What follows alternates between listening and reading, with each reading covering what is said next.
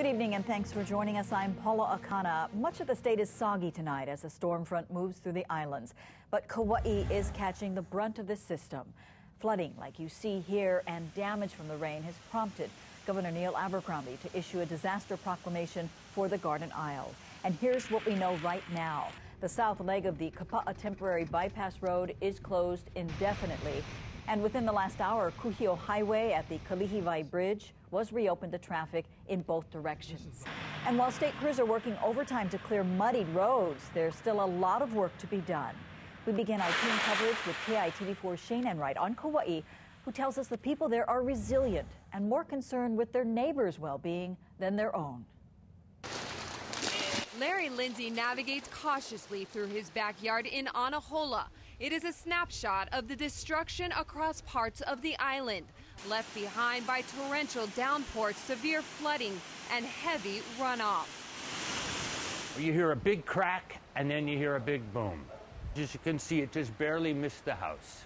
Lindsay says albizia trees standing 100 feet tall uprooted and without warning came crashing down. His home barely escaped getting hit. Large boulders washed across his lawn, and this afternoon branches barely hung on, threatening to break. The heavy rains have turned the peaceful Anahola stream into a raging river, and that has residents concerned. It was coming across here like crazy. You know, it was. Uh, it wasn't just water creeping up, it was rushing under here. At the Whalers General Store, residents and visitors cut off from the closest supermarket picked up the essentials as employees mopped up muddy waters from wet shoes.